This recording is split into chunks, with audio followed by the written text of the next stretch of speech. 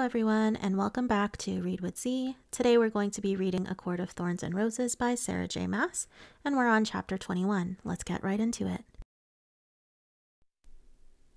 Everything about the stranger radiated sensual grace and ease. High Fae, no doubt. His short black hair gleamed like a raven's feathers, offsetting his pale skin and blue eyes so deep they were violet, even in the firelight. They twinkled with amusement as he beheld me. For a moment, we said nothing. Thank you didn't seem to cover what he'd done for me, but something about the way he stood with absolute stillness, the night seeming to press in closer around him, made me hesitate to speak, made me want to run in the other direction. He too wasn't wearing a mask. From another court, then. A half smile played on his lips. What's a mortal woman doing here on fire night? His voice was a lover's purr that sent shivers through me, caressing every muscle and bone and nerve. I took a step back. My friends brought me. The drumming was increasing in tempo, building to a climax I didn't understand. It had been so long since I'd seen a bare face that looked even vaguely human. His clothes, all black, all finely made, were cut close enough to his body that I could see how magnificent he was, as if he'd been molded from the night itself. And who are your friends? He was still smiling at me, a predator sizing up prey. Two ladies. I lied again their names. He prowled closer, slipping his hands into his pockets. I retreated a little more and kept my mouth shut. Had I just traded three monsters for something far worse? When it became apparent I wouldn't answer, he chuckled. You're welcome, he said, for saving you. I bristled at his arrogance, but retreated another step. I was close enough to the bonfire, to that little hollow where the fairies were all gathered, that I could make it if I sprinted. Maybe someone would take pity on me. Maybe Lucien or Alis will be there. Strange for a mortal to be friends with two fairies, he mused, and began circling me. I could have sworn tendrils of star kissed night trailed in his wake. Aren't humans usually terrified of us? And aren't you, for that matter, supposed to keep to your side of the wall? I was terrified of him, but I wasn't about to let him know. I've known them my whole life. I've never had anything to fear from them. He paused his circling. He now stood between me and the bonfire and my escape route. And yet, they brought you to the great rite and abandoned you. They went to get refreshments, I said, and his smile grew. Whatever I'd just said had given me away. I'd spotted the servants hauling off the food, but maybe it wasn't here. He smiled for a heartbeat longer.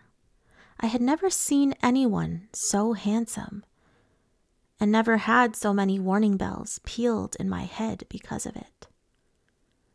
I'm afraid the refreshments are a long way off, he said, coming closer now. It might be a while before they return. May I escort you somewhere in the meantime? He removed a hand from his pocket to offer his arm. He had been able to scare off those fairies without lifting a finger. No, I said, my tongue thick and heavy. He waved his hand toward the hollow, toward the drums. Enjoy the rite, then. Try to stay out of trouble. His eyes gleamed in a way that suggested staying out of trouble meant staying far, far away from him though it might have been the biggest risk I've ever taken, I blurted, So you're not a part of the spring court? He returned to me, every movement exquisite and laced with lethal power, but I held my ground as he gave me a lazy smile. Do I look like I'm part of the spring court? The words were tinged with an arrogance that only an immortal could achieve. He laughed under his breath. No, I'm not a part of the noble spring court, and glad of it. He gestured to his face where a mask might go. I should have walked away, should have shut my mouth. Why are you here then? The man's remarkable eyes seemed to glow with enough of a deadly edge that I backed up a step. Because all the monsters have been let out of their cages tonight, no matter what court they belong to so I may, I may roam wherever I wish until the dawn. More riddles and questions to be answered, but I'd had enough, especially as his smile turned cold and cruel. Enjoy the rite, I repeated as blandly as I could. I hurried back to the hollow, too aware of the fact that I was putting my back to him I was grateful to lose myself in the crowd, milling along the path to the cave, still waiting for some moment to occur. When I stopped shaking, I looked around at the gathered fairies. Most of them still wore masks, but there were some, like that lethal stranger, and those three horrible fairies who wore no masks at all. Either fairies with no allegiance or members of other courts. I couldn't tell them apart. As I scanned the crowd, my eyes met with those of a masked fairy across the path. One was russet and shone as brightly as his red hair. The other was metal. I blinked at the same moment he did, and then his eyes went wide. He vanished into nothing, and a second later, someone grabbed my elbow and yanked me out of the crowd. Have you lost your senses? Lucien shouted above the drums. His face was ghostly pale. What are you doing here? None of the fairies noticed us. They were all staring intensely down the path away from the cave. I wanted to. I started, but Lucien cursed violently. Idiot! he yelled at me, then glanced behind him toward where the other fairy started. Useless human fool. Without further word, he slung me over his shoulders as if I were a sack of potatoes. Despite my wriggling and shouts of protest, despite my demands that he get my horse, he held firm, and when I looked up, I found that he was running fast, faster than anything should be able to move. It made me so nauseated that I shut my head I shut my eyes. He didn't stop until the air was cooler and calmer and the drumming was distant. Lucien dropped me on the floor of the manor hallway, and when I steadied myself, I found his face just as pale as before. You stupid mortal, he snapped. Didn't he tell you to stay in your room? Lucien looked over his shoulder toward the hills, where the drumming became so loud and fast that it was like a rainstorm. There was hardly anything that wasn't even the ceremony. It was only then that I saw the sweat on his face and the panicked gleam in his eyes. By the cauldron, if Tam found you there, so what? I said, shouting as well. I hated feeling like a disobedient child. This is the great, rite, cauldron boil me. Didn't anyone tell you what it is? My silence was answer enough. I could almost see the drum beats pulsing against his skin, beckoning him to rejoin the crowd. Fire Night signals the official start of spring in Prythian as well as in the mortal world. Lucien said. While his words were calm, they trembled slightly. I leaned against the wall of the hall. I leaned against the wall of the hallway, forcing myself into a casualness I didn't feel. Here, our crops depend upon the magic we regenerate on Calanmai. Tonight, I stuffed my hands into the pockets of my pants. Tamlin had said something similar two days ago.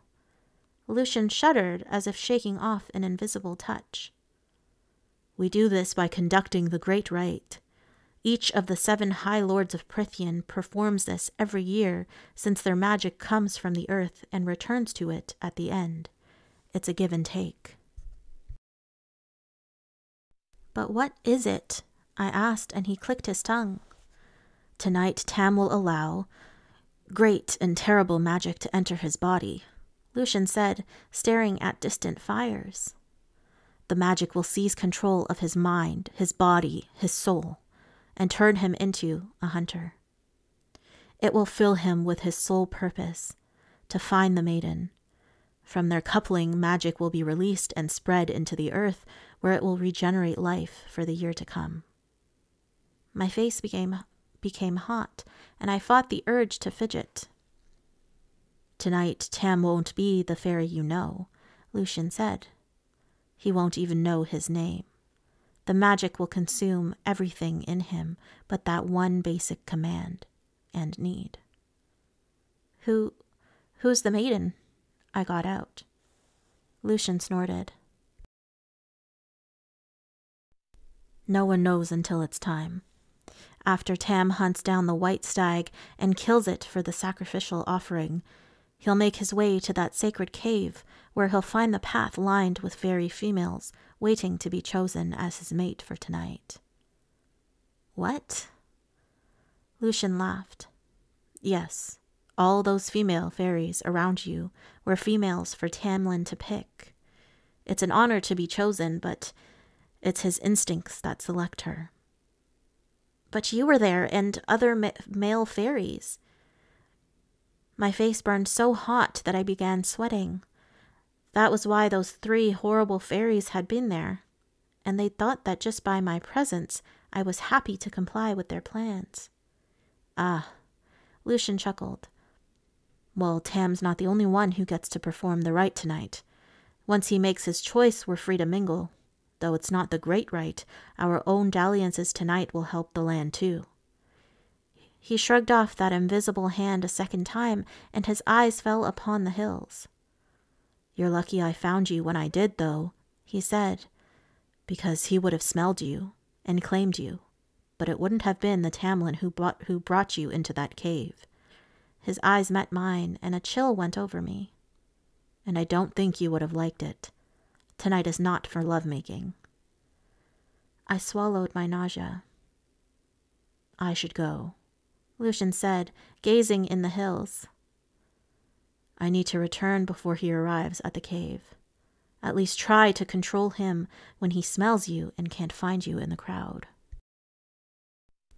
It made me sick, the thought of Tamlin forcing me, that magic could strip away any sense of self, of right or wrong. But hearing that, that some feral part of him wanted me, my breath was painful. Stay in your room tonight, Feyre, Lucien said, walking to the garden doors. No matter who comes knocking, keep the door locked and don't come out until morning. At some point, I dozed off while sitting at my vanity. I awoke the moment the drum stopped. A shuddering silence went through the house, and the hair on my arms arose as magic swept past me, rippling outward. Though I tried not to, I thought about the probable source and blushed, even as my chest tightened. I glanced at the clock. It was past two in the morning. Well, he'd certainly taken his time with the ritual, which meant the girl was probably beautiful and charming and appealed to his instincts. I wondered whether she was glad to be chosen. Probably. She'd come to the hill of her own free will, and after all, Tamlin was a high lord, and it was a great honor. And I supposed Tamlin was handsome. Terribly handsome. Even though I couldn't see the upper part of his face, his eyes were fine, and his mouth beautifully curved and full. And then there was his body, which was was. I hissed and stood. I stared at my door, at the snare I'd rigged.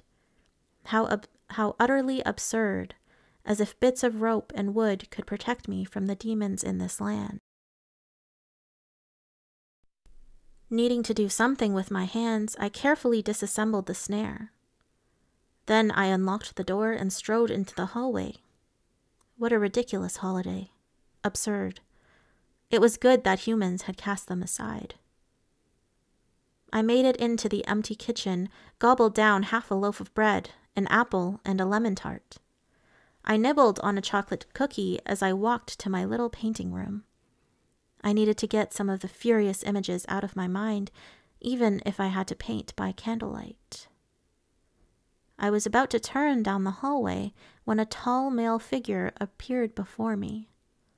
The moonlight from the open window turned his mask silver, and his golden hair, unbound and crowned with laurel leaves, gleamed. Going somewhere? Tamlin asked, his voice was not entirely of this world. I suppressed a shudder. Midnight snack, I said, and I was keenly aware of every movement, every breath as I, I took as I neared him. His bare chest was painted with whorls of dark blue woad, and from the smudges of in the paint, I knew exactly where he'd been touched. I tried not to notice that they descended past his muscled midriff. I was about to pass him when he grabbed me, so fast that I didn't see anything until he had me pinned against the wall. The cookie dropped from my hand as he grasped my wrists. I smelled you, he breathed, his painted chest rising and falling so close to mine. I searched for you, and you weren't there.